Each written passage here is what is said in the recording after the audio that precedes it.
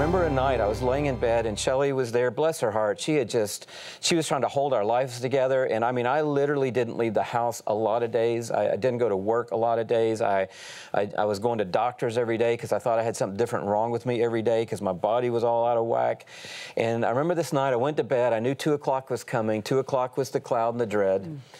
And that night it came, and I woke up and I was so broken down by it all because there wasn't a fix we're months in now. There wasn't a quick change, and guys want things to change in a hurry. Oh, yeah. And people that live a fast-paced life like you and me, we sure. want something to change. We want to go see somebody. We want to take something. We want it to be over. And I was broken down, and I remember just saying, God, I can't do this one more night. I cannot do this one more night. We've prayed, everyone's prayed, we believe, we fasted, trust me, we've claimed every Bible promise we know. Uh, people were covering us in prayer, but it, it, nothing was changing. And I said, God, I can't do this another night. And then I just thought back to a time in my life, which was another deep, dark hole, way back due, due to some other circumstances in our family. And I remember Job, the Lord gives songs in the night. And I said, God, if you'll give me a song tonight, I'll sing it to you. Mm. And just out of my heart, I don't know where it came from, came this little chorus Be still, there is a healer. His love is deeper than the sea. His mercy is unfailing. His arms, a fortress, a refuge for the weak.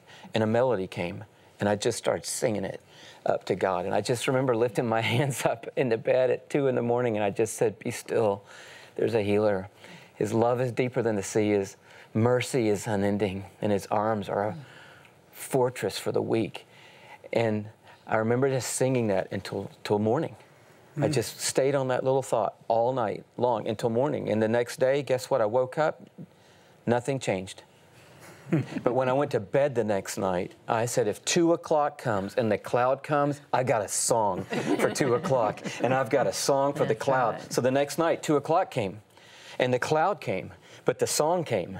and the progression was cloud, song, cloud, song. But then it was song, song, song, cloud. and then it was song, song, song, song, song, cloud. And then it was song, maybe a cloud.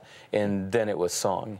And I'm not going to say today, because uh, it wouldn't be honest if I didn't say that somehow now, after going through that, that that anxiety, that sense of that panic, it's somewhere over in left field, and I'm somewhere up at third base. And but I know now when it starts coming, I know it's that I'm not going crazy. And if anybody's watching this today and you're like, I know exactly what you're talking about, I've been through this. I want to tell you two things. Number one, you are not crazy. That's what the enemy's going to tell you. You are crazy and losing your mind. You are not crazy. A lot of people have been where you've been.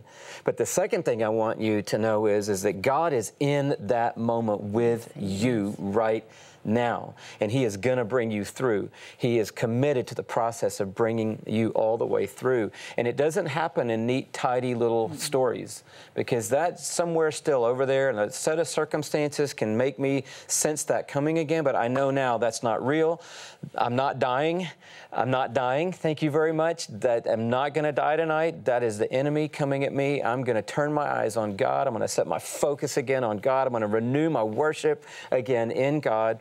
And I'm telling you, it's a miracle to me that eight years tell. later, that eight years later, that I have uh, that I'm in the light because there's a day in that tunnel where you think I'm never coming out of the dark. Don't you appreciate the journey and what you've heard and the glory?